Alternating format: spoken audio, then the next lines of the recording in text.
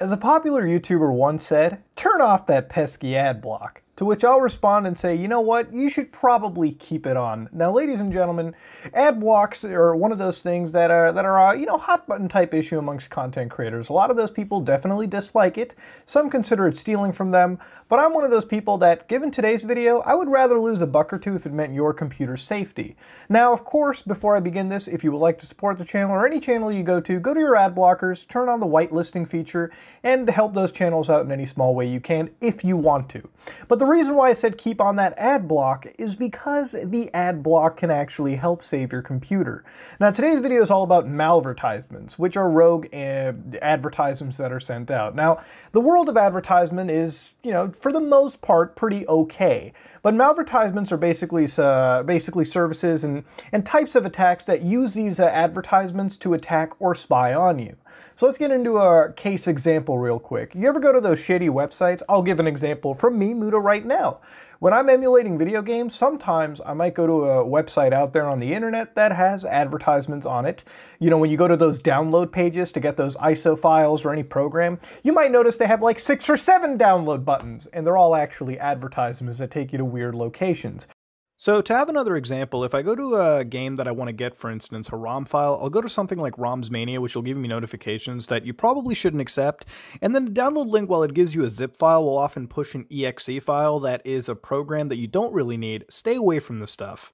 So, thinking about it real quickly, ladies and gentlemen, that's an area of attack. See, malvertisements are basically advertisements that use very malicious ways to redirect users to other fake websites or actually infect you just by viewing the ad itself. So, getting into a case world example, ladies and gentlemen, when you view anything on the internet, when you view web pages, two of the things you got to remember that are kind of a little dangerous and dodgy are Flash and Java. Now Flash is uh, an old, very, very old uh, web tool that we use to view SWF animations, things like that. Um, we've switched from Flash mostly to like HTML5, but you're still going to find Flash out there on the internet. And Java is something that is used all over the world on millions and billions of devices out there. So when web pages use JavaScripting, it, it, it uses it to provide features to the end user, you know, make their site look better, but it has a darker side to it. See, when you add all these browser add-ons and you add all these plugins, you allow the browser to execute code on your computer. So, long story short is if you view a web page that runs a Flash animation, which you'll notice if you run something like Google Chrome or, well, any modern day web browser, it'll actually ask you if you want to run Flash or Java applications. And unless you trust a website very specially, unless the website has proven its credibility, always respond with a solid no to those. Because if you don't, then you're going to come up with situations that might as well take away your computer uh, and, and put it in the arms of someone dangerous and dirty.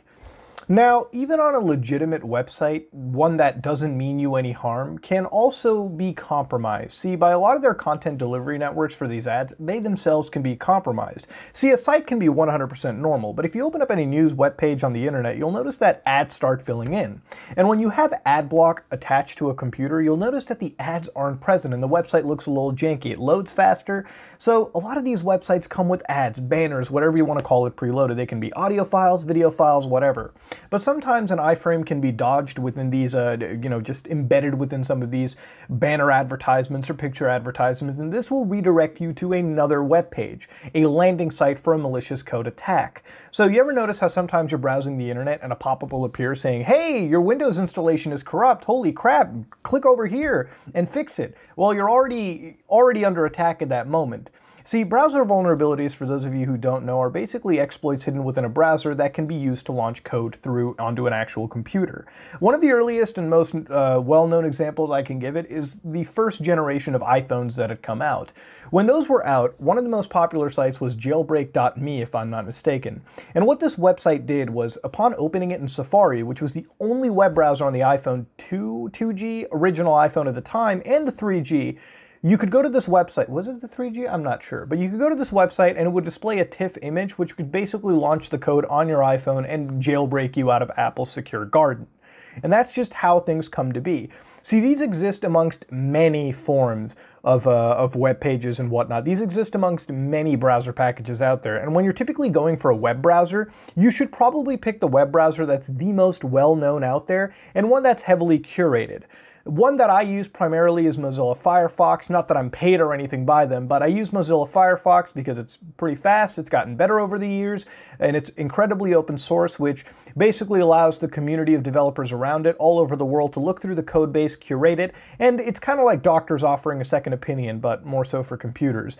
There's also the Chromium project, which is where Google Chrome is forked off of, and the newer Microsoft Edge build. So if you want to secure yourself, use a browser that is well, first of all, open source, based off that at least, and is one that's constantly curated by a community out there. Because the more eyes you have looking into your software and, and repairing it, the better it is, the chances are the more secure you're going to get. It's why I use Linux primarily as an operating system, because while I don't think that Microsoft is inherently evil or something like that, I'm only going to use Linux because not only is it a more solid, stable operating system, but it's also open source and there are people that are constantly looking through it all the time.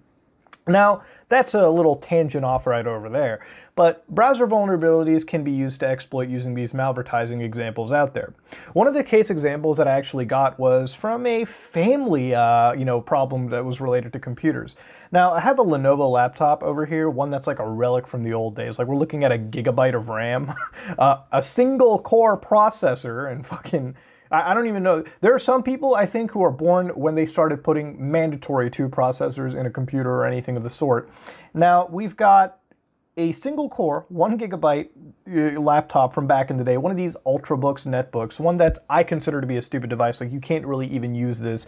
Um, I have to like use it like a caveman or something. But long story short, this is coming with Windows 7, and we're not looking at Windows 7 like updated Windows 7.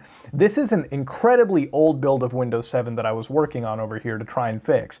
And not only was it Windows 7, but the web browser itself was like Internet Explorer 7 and a non-updated version. This system was as base as Windows 7 could get. It was missing service packs, it was missing crucial security updates. This thing was literally bought from a store and never updated at all. So when I looked into this computer, I noticed that they had went to a lot of web pages, South Asian web pages that they could watch uh, movies and music, mu movies, listen to music, watch TV shows, political shows, things like that um, from India, Pakistan, and whatnot.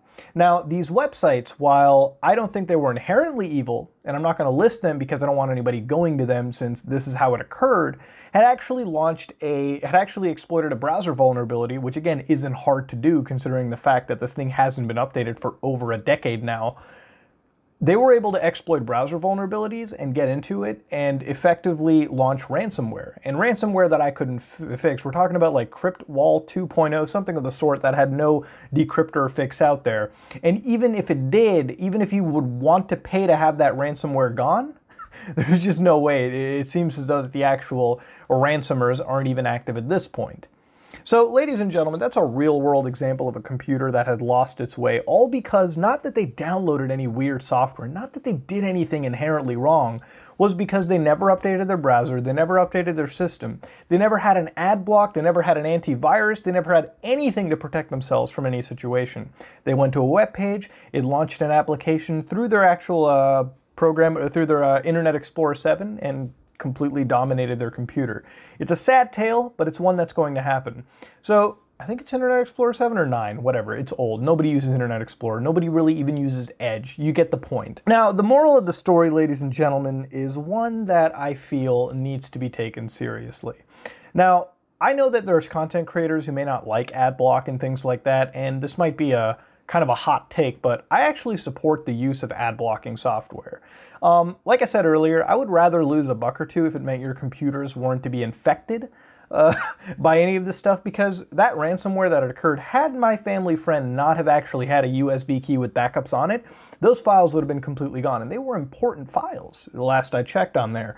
So had they had they not backed those files up initially, this would have been a lost cause completely, all because they went on a weird website. So use any content blocker of your choice. I use AdBlock Plus or Pro, whichever one I call it. There's one built right into my Note 9 anyways. Um, I think it's also AdBlock Plus. So use whatever you want, use what you're comfortable with, but block those ads as much as you can. Whitelist your favorite content creators if you feel they deserve your, you know, your advertising revenue that you would give to them legitimately, of course. And if you want to support websites, you know, that, that are publishing free content, because like I said, ads help us get free content out there. It's kind of the trade-off you have. So if you put on AdBlock too much, your free content is going to start dwindling. So it's one of those give and take type scenarios. But whitelist as much as you can, but make sure you have some form of ad block allowed on your system. Because if you don't, that's the newest attack vector. That's the most popular attack vector these days, ladies and gentlemen. And I'm just here watching out for all y'all. That's all I'm going to say, ladies and gentlemen. So get those pesky ad blocks enabled. and ladies and gentlemen, I'm going to sit back, relax. If you like what you saw, please like, comment, and subscribe. Dislike if you dislike it. I'm going to I'm gonna go back to this fancy schmancy adult club and call it a day. this is me, Mutahar, and I am out.